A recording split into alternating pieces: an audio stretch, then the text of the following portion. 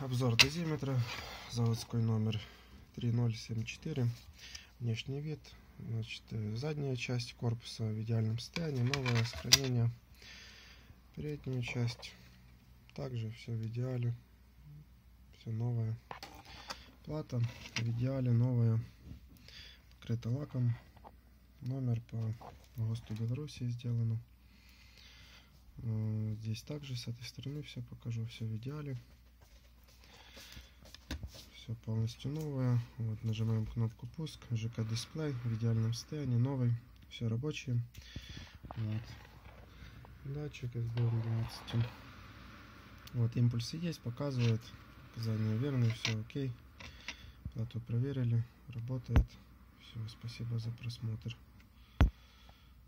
Проверку провели, внешний обзор также.